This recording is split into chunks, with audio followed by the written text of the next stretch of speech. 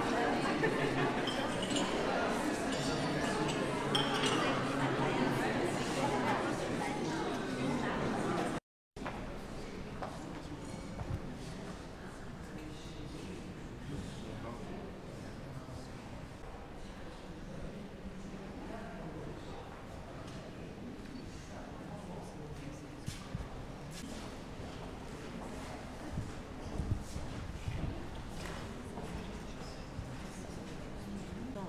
parce qu'à ce moment-là, elle est née en 25 comme parole.